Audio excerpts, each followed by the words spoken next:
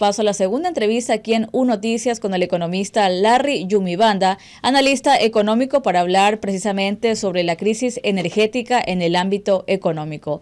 ¿Qué tal? Buenos días, bienvenido a U Noticias. ¿Cómo va? Buenos días. Buenos días también a la audiencia, las órdenes. Buenos días. Bueno, analista, bueno, la economía en Ecuador sigue sin mostrar pues signos de recuperación. En la actualidad, ¿cuál es el estimado de pérdidas económicas debido a esta crisis y también cómo ha afectado la productividad y la competitividad en las empresas ecuatorianas? Lo escuchamos. Bueno, nosotros hicimos un estudio, sí, en donde se tomaron prácticamente algunos sectores de la economía y nos arroja sí, que daños y pérdidas, prácticamente el cierre del 2024, ascenderían a mil millones de dólares, una cifra que equivale a una caída del Producto Interno Bruto del 1%. Entonces, prácticamente la economía no crecería y que iría en concordancia con lo que está diciendo el FMI, ¿no? que ahora la economía ecuatoriana, según las perspectivas del Fondo Monetario Internacional, va a crecer en el 0.0 3%. Entonces, el crecimiento sería prácticamente nulo, o sea, no habría crecimiento para este año. Y el tema es que se va a profundizar para el próximo año y, y esto se va a alargar hasta el 2029, los niveles de bajo crecimiento.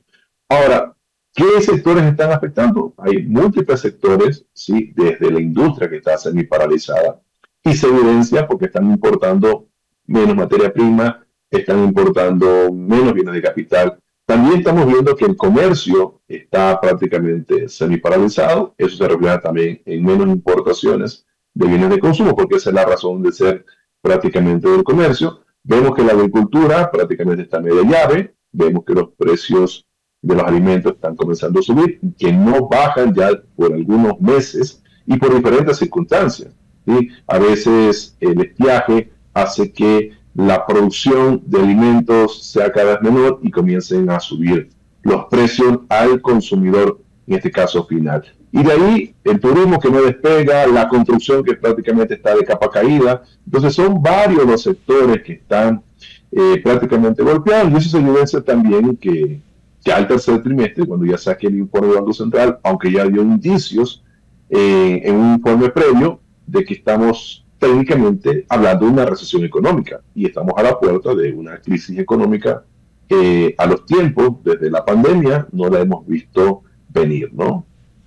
Analista, y ahora también vemos que la ministra de Trabajo, Ivonne Núñez, firmó el acuerdo ministerial que permite a empleadores y trabajadores modificar sus horarios de trabajo por la emergencia del sector eléctrico. Estas modificaciones acordadas no, no podrán exceder las 40 horas semanales y si se superan se pagarán horas extras, ¿no? Y también los trabajadores que acuerden esta medida de pico y placa laboral tendrán derecho a un día de descanso adicional a las 48 horas consecutivas. ¿Esta alternativa podría reducir en algo este impacto energético? Bueno, es una decisión sin ningún tipo de sustento en lo que tiene que ver con los niveles de productividad de las personas, porque hay estudios en donde el trabajador rinde a su máximo esplendor con cuatro horas y de ahí comienza a decaer.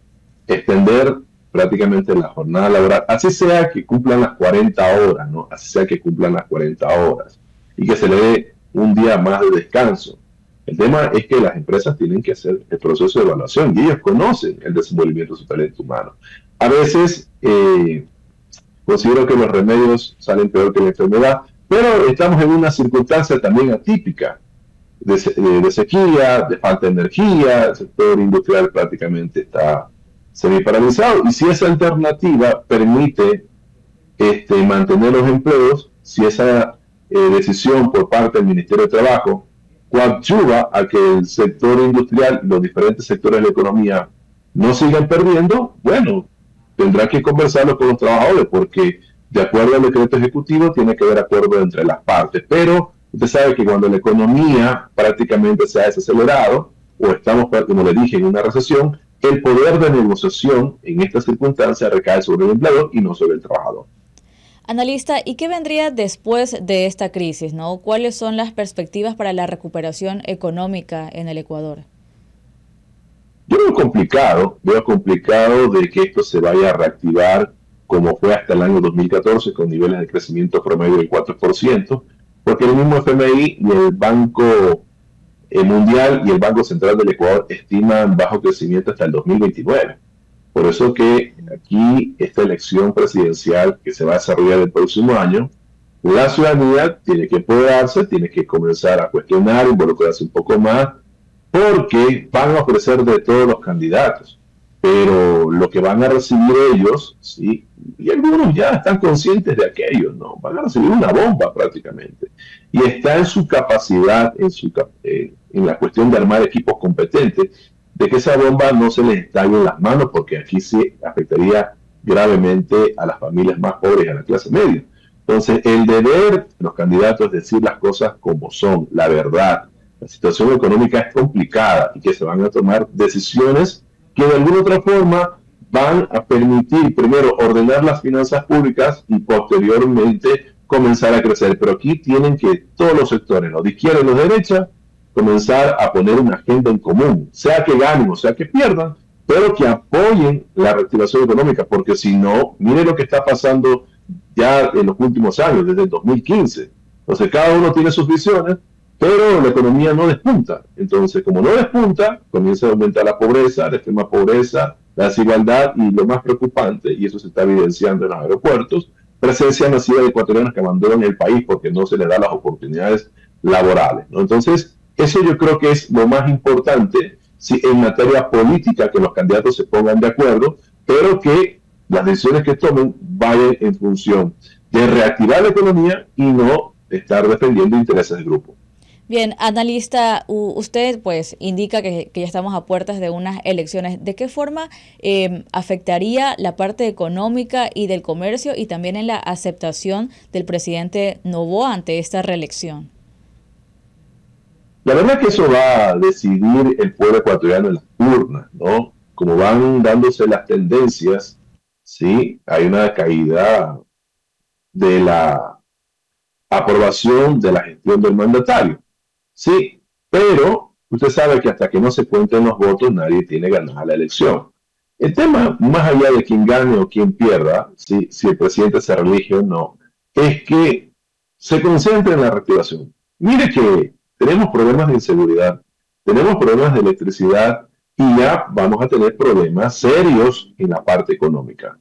Entonces, ¿qué han hecho en estos meses en materia económica?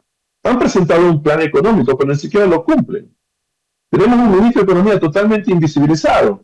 O sea, ni siquiera, y cuando, cuando comienza a aparecer los medios de comunicación, es para decirnos que vamos a aumentar los impuestos. Entonces, acabó de estar en China y ni siquiera ha dado resultados de cómo le fue en China.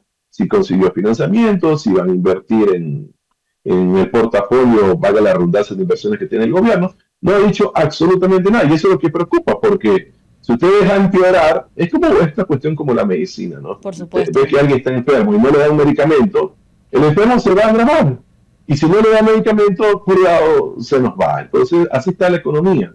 Así está la economía. Ya estamos a la puerta de una crisis económica.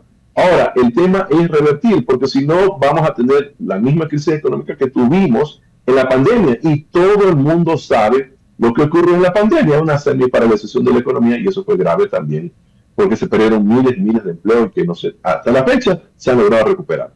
Bien, 8 de la mañana y 51 minutos. Queremos agradecerle la entrevista a economista Larry Yumibanda y dada pues la invitación para una próxima entrega. Gracias a ustedes, buenos días y también buenos días a la audiencia.